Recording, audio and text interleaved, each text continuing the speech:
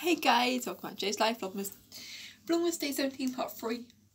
Um, this, this video might, might be shorter than all the rest of them because two years ago in December I told, I, I was just weird. I told everyone what I was doing each second of every single, like I literally told people what I was doing like each second of the whole day. Sometimes I mentioned what I was eating.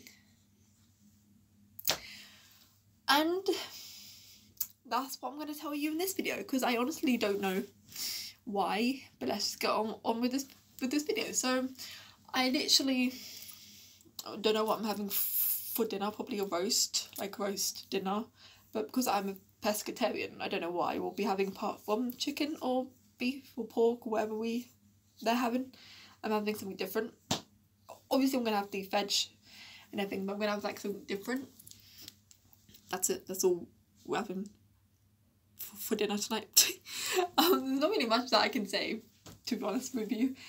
Um, because apparently I said that like two weeks ago. So yeah, anyway. Um, I hope you guys enjoyed this random, whoa, my light.